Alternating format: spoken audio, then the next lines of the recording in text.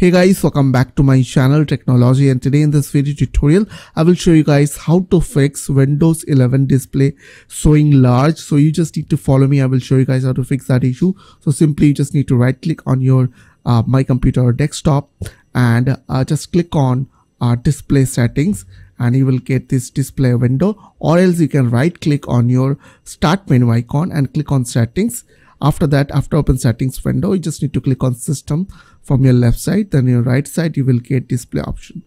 Okay so now scroll down a little bit and you will get option called scale. So make sure that you have uh, set the scale is 100% which is recommended as you can see.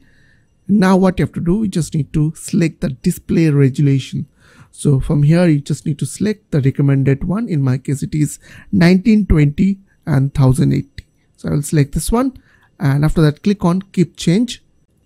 And now it will show you uh, the uh, proper uh, windows desktop size. Also make sure that uh, you have updated your graphics driver for that. You just need to right click on the start menu. Click on device manager. Now expand display adapters and right click and click on update your driver. Make sure that your internet is connected and after that it will fix your problem. So i hope this tutorial really help for you. And please don't forget to click on the subscribe button like button and share button. And if you have any queries or question then comments down below. I will see you guys in the next one. Next video. Till then bye bye take care